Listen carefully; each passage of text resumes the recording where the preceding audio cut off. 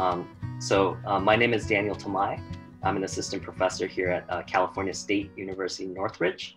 Um, and it's my great pleasure to interview as part of this uh, chemical research in toxicology, uh, building chemical bond series, uh, which honors great mentors in the field of chemical toxicology. Uh, today we have with us Dr. Linlin Zhao at UC Riverside, and then Dr. Fred Guengerich at Vanderbilt University. Sure, thank you, Daniel. My name is Linlin Zhao, and I'm a faculty member at University of California, Riverside at the Department of Chemistry here. Uh, I received my PhD in bioanalytical chemistry at University of Connecticut with Jim Rusling and received a postdoctoral training with Fred at Vanderbilt. After that, I started my independent career in 2013 at Central Michigan University and relocated my lab uh, to UCR in 2019. Fantastic. Okay, so this is the one question where uh, CRT requests that you limit your response to one minute. Um, could you please tell us about your article as part of this series um, and, and why is this topic uh, important for uh, chemistry and toxicology? Yeah, the article discusses mitochondrial DNA damage, focusing on the uh, prevalence, the chemical nature, and biological impact of the damage uh, I guess chemical modified DNA and uh, its biological consequence has been a, a, very important area in chemical toxicology. Traditionally, the research has been focused on the nuclear DNA.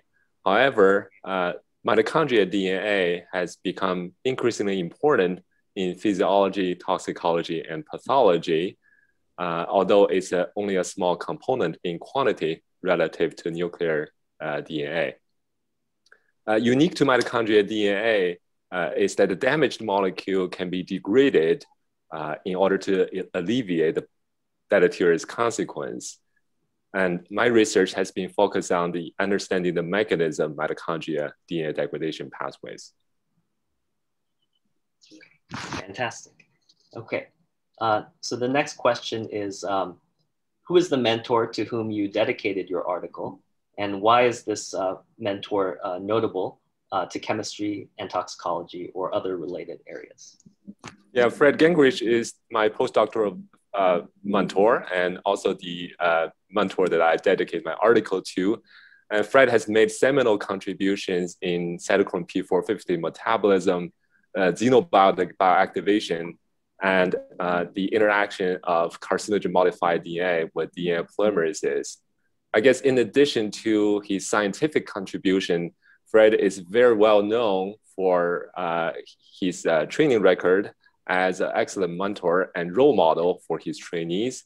He has trained more than 20 graduate students and uh, 139 postdoctoral fellows uh, so far, which is very productive. And, and so the next question uh, is how did your mentor help you uh, navigate challenges in your career path? And also, how did they inspire you to pursue your goals? Yeah, I guess Fred uh, pr- really provided me the most rigorous scientific training in nucleic acid chemistry and DNA enzymology. I learned uh, both from Fred and uh, some of the very talented people in Fred's lab. In addition, uh, I learned tremendously from some of the very closely collaborating labs of Fred such as Martin Egli's lab for X-ray crystallography and Carmelo Rizzo's lab for nucleic acid chemistry. Equally important, I guess, uh, is the training on query development that for, uh, Fred provide, provided. And that is to say, I really learned how to become a professor from Fred. Uh, Fred helped me realize some of the very important skills to not only become a professor, but also be successful as an independent faculty member. Some of these skills include time management, uh, scientific writing, and always being open to uh, new research areas and skills in order to solve a problem. That's awesome. Um, and and uh, if, if there's anything that you would add in terms of how uh, Fred inspired you to pursue your goals, what, what type of inspiration did he give you? I think I think it's Fred's uh, enthusiasm towards science that influenced me the most. I think uh, he just have a, such a genuine love for science that constantly inspired me to to pursue a uh, intellectual challenging question. Yeah, uh, I think Fred really set the best example with his dedication and work ethics and uh, enthusiasm uh, for science. Like I said, uh, Fred always treat people with respect. Uh, I think all of these aspects I'm still working on to keep up with Fred's standard. Uh, for example, despite his countless professional uh, obligations, Fred is always engaged very actively in all aspects of lab in different projects, which I also try to do with my lab and strike a balance between careful mentoring and uh, leaving ample room for students' creativity. Uh, Fred's careful attention to career development also heavily influenced me. Uh, for example, Fred uh, will schedule himself in the lab meeting rotations and present uh, presentations on all aspects of career development, such as resume writing, grant writing, scientific uh, manuscript preparation. I'm trying to do the same with my lab members also. That's great. Okay, uh, so now we'll pivot to questions uh, for the mentor, uh, for you, Dr. Guengerich. Um, and, and before I start, if, if I may, I may, I also had a wonderful interaction with you, Fred, at my first TOXI meeting in 2008. You probably don't remember, um, but you came to my poster and and it imprint, imprinted me with with uh, with your professionalism and, and your rigor as well. So if I could just preface that. Uh, so thank you for that. Well, you have a job now, so I guess it worked. Yeah, thank you. I, I credit a lot of that. It, it built my confidence a lot. So so thank you for that. Okay, uh, my name is Fred Guengerich. I'm a professor of biochemistry at uh, Vanderbilt. I hold the uh, Tadashi Inagami uh, Chair in Biochemistry uh, here. Uh, I don't know exactly where to start. I got a bachelor's degree at the University of Illinois. I went to um, halfway through uh, college, I had an opportunity uh, one summer to work with Dr. Professor Broquist, and um, basically I fell in love with biochemistry and I've been a, I wanted nothing else to, in my life than to be a biochemist. Uh, and I went to graduate school at Vanderbilt, uh, actually with Dr. Broquist after he moved. Uh, then after I finished at Vanderbilt, I did postdoctoral work at uh, University of Michigan with uh, Professor Coon. Uh, both Professor Broquist and Coon were very you know, very instrumental in my life. Uh, I really learned a lot from both of them, and uh, they were excellent mentors. And so I've always tried to be a good mentor um, and emulate uh, them. Uh, I was hired back at Vanderbilt uh, to uh, be an assistant professor in biochemistry, and I'm still here. Okay. so have you developed mentoring habits over your career, either purposefully or by accident, that you feel has benefited your men- mentees and, and how?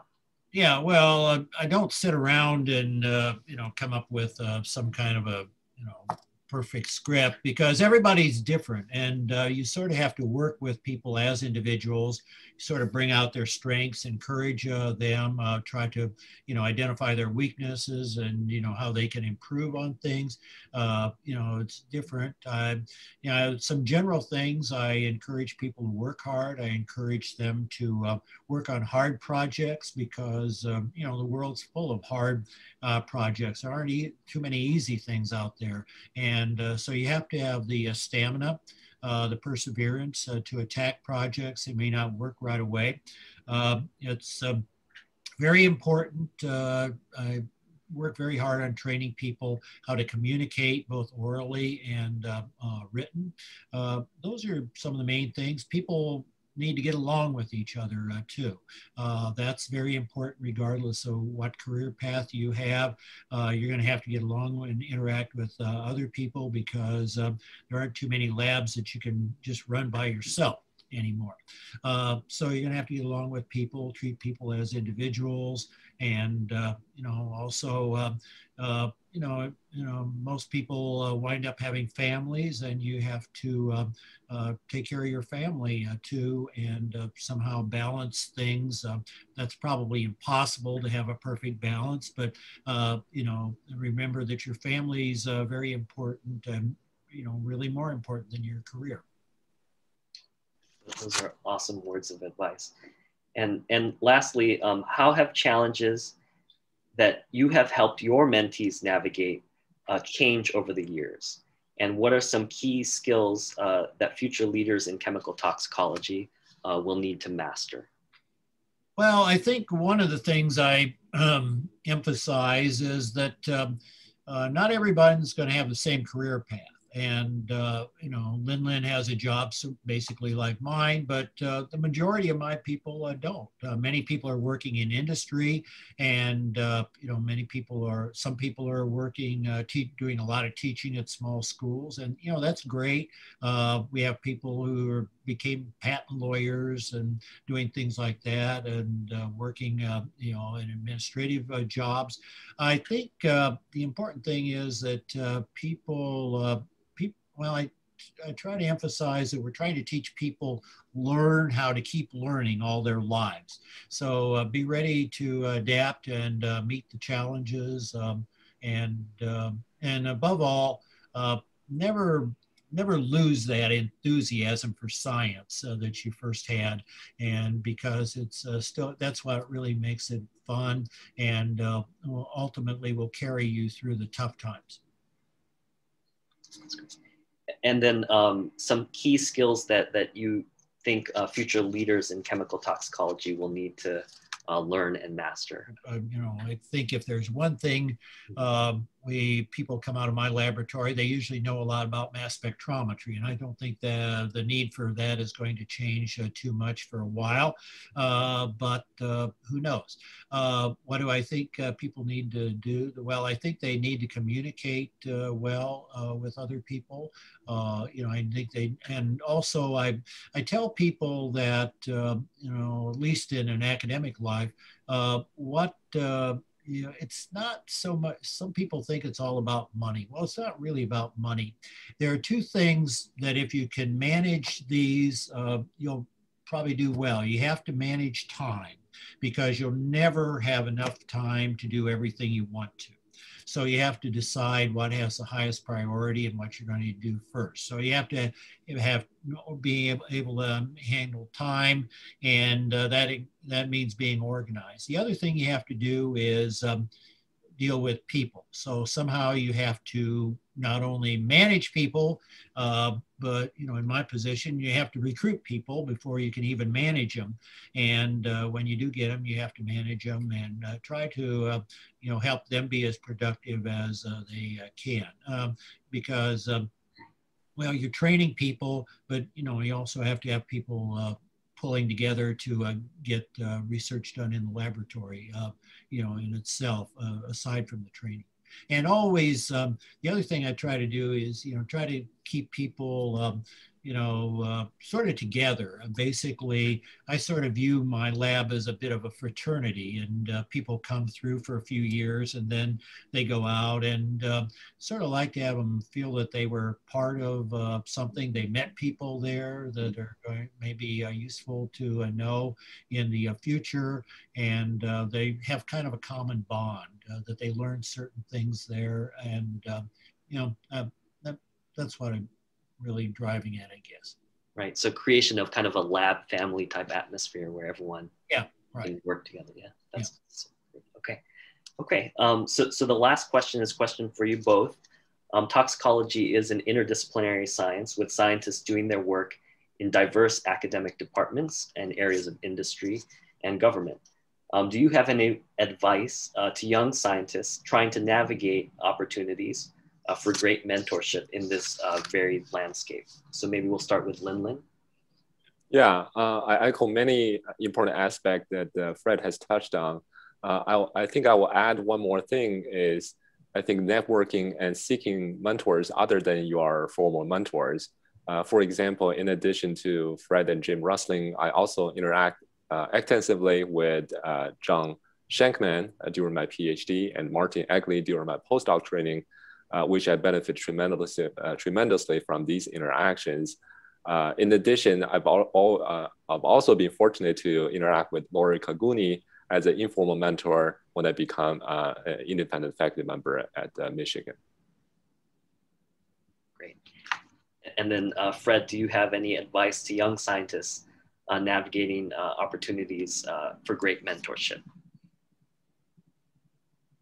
Uh, well, yeah, I think uh, we've already touched on uh, some of these uh, things. One thing I should mention out, um, uh, I think, uh, you know, it's very good to learn from your mentors, but I think you also have to learn um, what not to do because, um, first of all, you can't, you know, be exactly what your mentor was uh, because uh, uh, you know I didn't get up every morning and I say what would uh, Harry Broquist do or what would Jud Coon today do well they were they had different situations to deal with and times change. And uh, you know i'm fred guengerich so i have a different set of problems to deal with.